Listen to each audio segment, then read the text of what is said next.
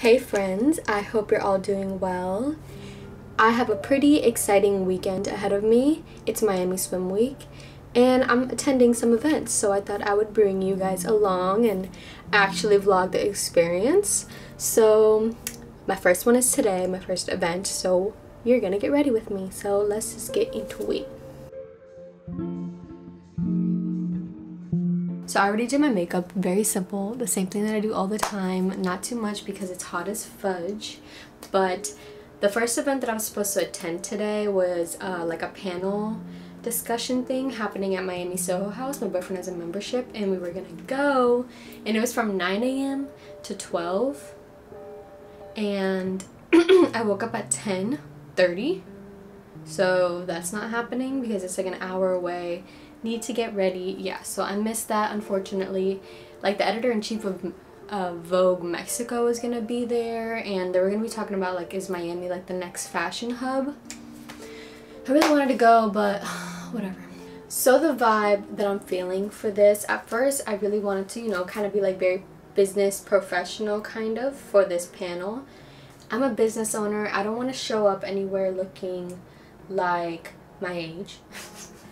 I didn't want to like be too playful with my outfit, but like still because it's like Miami Swim Week, like it's not New York Fashion Week, it's just like more colorful, it's hot as crap. So I really wanted to wear something like this, but this is way too playful. Like it looks like I'm about to go flamenco and I look like a tourist. This is not it. And then I was going towards like more darker colors, but it's more nighttime. This is like daytime. It's hot as crap.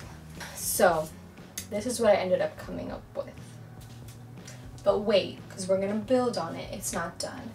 I went with like my favorite trousers that I literally wear all the time, but they're linen, they're so comfy. I mean, they're pretty tight on the waist, but so I went with something that like I wear a lot um, with something that I haven't worn, which is this shirt.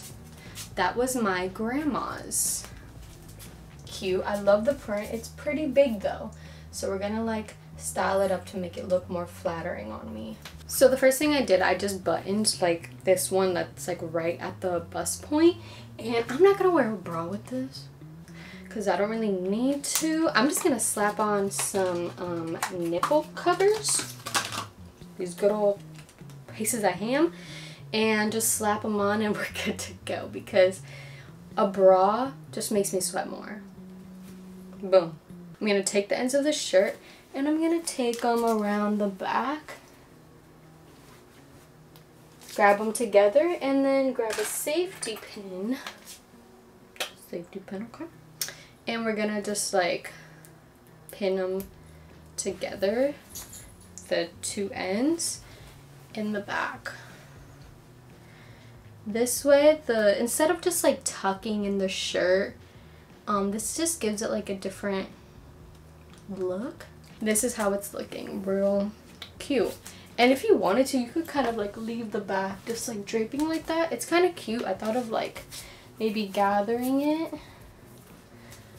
like right here. And that could be cute. But honestly, I don't feel like doing that. So you could grab the tail and kind of like tuck it underneath that like into this pocket that like gets formed after you pin the fabric. There's like a little pocket. You could do that, but it kind of looks ugly. So I'm just gonna tuck it into my pants. And then it looks like that. Real cute. And then we're gonna roll up the sleeves. Oh, we are not keeping them all the way down. No, no. Okay, so for accessories, I'm gonna go with like this beaded uh, necklace that I thrifted. I'm gonna do these earrings that were also my grandma's, the same grandma. I cleaned out her closet uh, before I left and I took a bunch of stuff that um, I liked and then also need to like upcycle, alter because they're like too big, which is the video that's coming next with me altering all that stuff. So subscribe. And then we're gonna add some bracelets. Thrifted this like arm cuff. These two bracelets were literally my sister's from ages ago. And then I put on some rings. All of these are literally like, basically I got like a farmer's market. Yeah, I got them at different farmer's markets. That's the jewelry. Literally, jewelry always elevates a look. Like,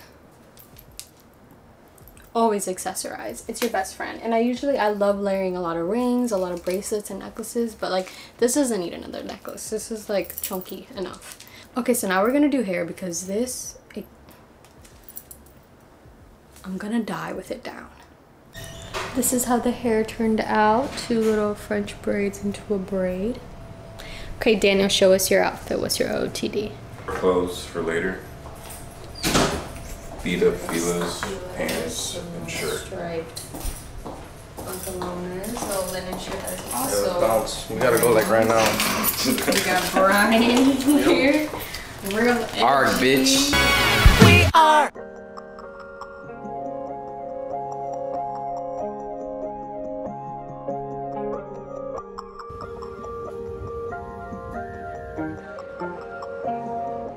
This fashion show was actually in collaboration with Instituto Marangoni and Paraíso.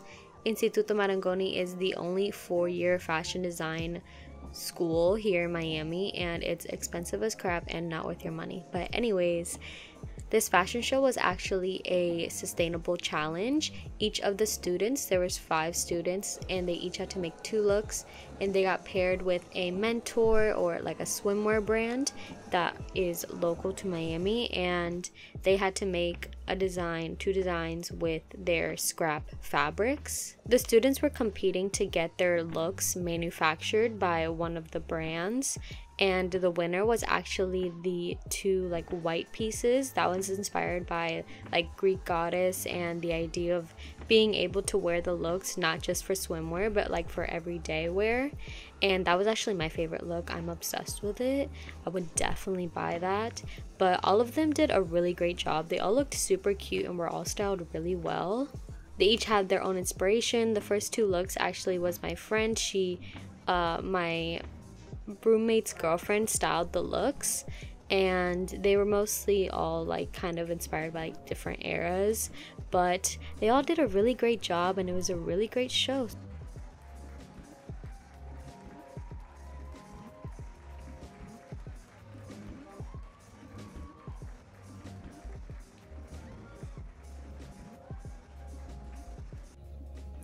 After the fashion show, I hung out with my friends and we actually went to this art gallery opening thing. And this artist made all of these headpieces and like had a photo shoot with them. And they looked really bomb. I'm not exactly sure what the inspiration was, but they looked really cool. And they had um a lot of people there and also like a free bar. So you, every time there's free alcohol anything in miami you already know lots of people are going to be there. But um you know your girl took advantage and then basically spent the night hanging with my friends. We went to a bar and didn't get home until like 2 30 a.m or something like that. And we had to get ready for the next day Hi, friends. It's a new day. Got another show.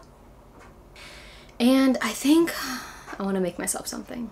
It is approximately 4 o'clock ish, and I have many things that I could wear, but I want to make myself something that I've been thinking about for a while.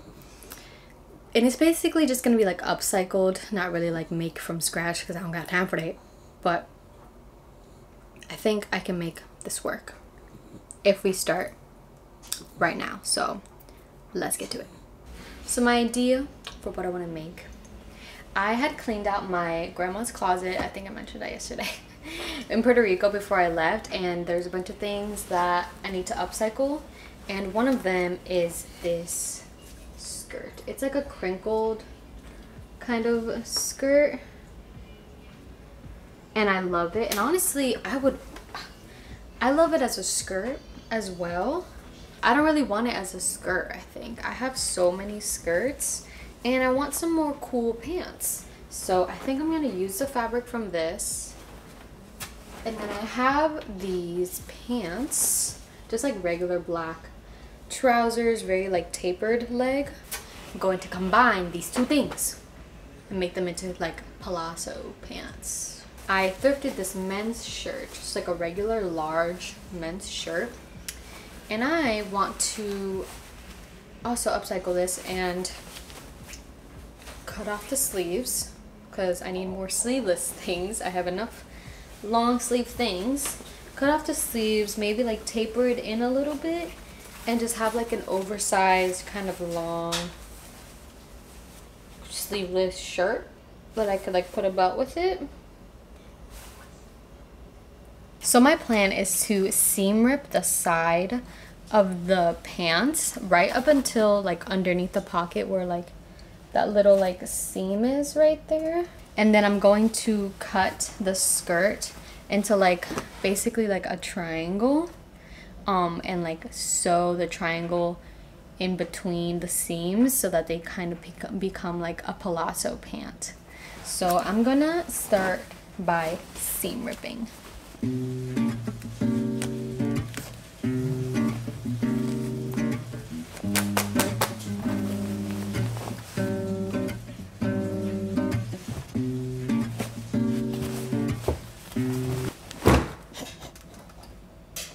Stop. This is the inside of the leg. I'm an idiot. supposed to be doing the side. So I ironed all of the edges flat so that it was easier to work with. And now I'm going to measure from the top opening all the way to the hem to see how long it is to then cut out the triangles. For me, it is about 29 and a half inches. So I'm going to cut this triangle 29 and a half inches because I'm gonna leave like the hem that's already done on here and basically like measure from the bottom up and then just cut out big old triangle.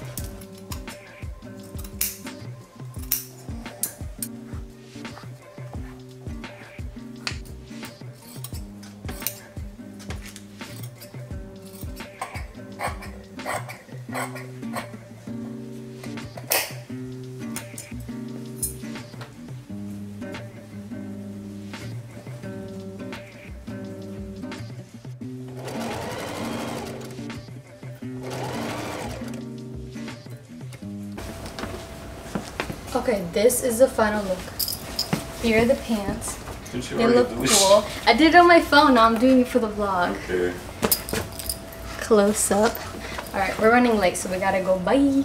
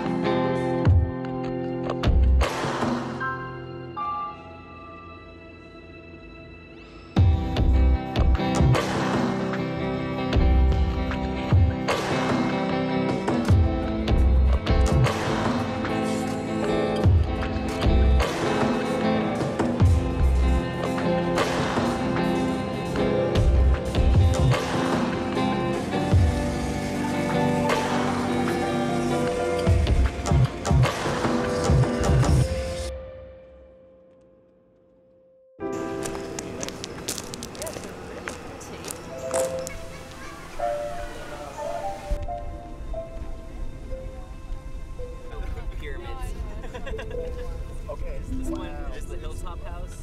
And it's like built into it. Ooh, I think they're all the same. It's like mango and two other. Hey friends, it's Monday now. It was a fun weekend, but I am exhausted. So I wanted to finish this video off because I thought it was perfect timing to mention that I will be attending New York Fashion Week. It'll be my first New York Fashion Week, so I'm very excited and I'm going to be showing my fall 2022 collection. This collection is inspired by like the water scarcity problem that's going on in the world and I want to bring more awareness to that with this collection. I'm going to be doing a lot of fabric manipulation and plant dyeing and of course I'm going to be bringing you guys along the entire process and I'll be sharing it here on YouTube. So subscribe. But I created a GoFundMe for this because I want to really dedicate a lot of time to this collection to really make it perfect and it's really hard to do that plus working to make money to do that and you know it's a struggle out here. So I made a GoFundMe I've never done it before and you know what I just thought you know what worth a shot you never know who's out there and wants to help so yes. The link is in the description. I have like more explaining of like the collection and everything. I will be donating um pros like a percentage from all the garments and everything to some organizations to help the water scarcity problem and pollution and all that. So yeah I'm really excited even if you can't donate completely understand but sharing it also goes a really long way.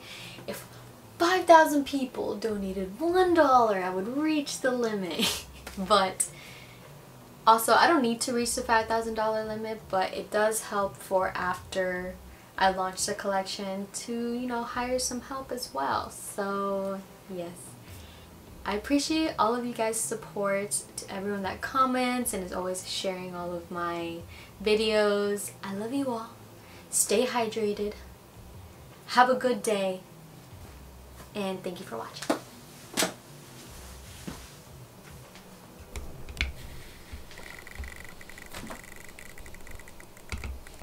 Are you zoomed in? Mm. I can